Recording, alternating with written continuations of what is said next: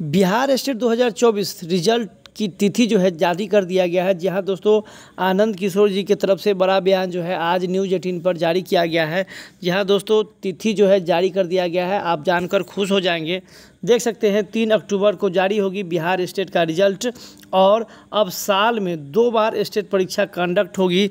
Bihar board के chairman जो कि आनंद किशोर जी इसकी बारे में अपडेट दी है। देख सकते हैं, अब साल में दो बार स्टेट परीक्षा आपकी कंडक्ट होगी। ये बड़ी अपडेट आप लोगों के लिए निकल कर आ रही है। वहीं पे देख सकते हैं, स्टेट रिज़ल्ट की तिथि घोषित जो है, घोषणा कर दिया गया है।